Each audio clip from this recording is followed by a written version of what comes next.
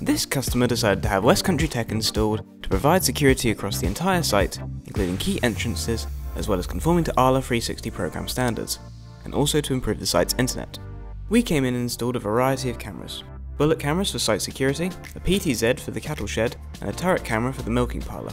We also installed a 4G antenna and wireless links. The bullet cameras solved security issues around the site. The PTZ allowed the customer to monitor the cattle in the shed, and the turret camera to monitor the milking parlour.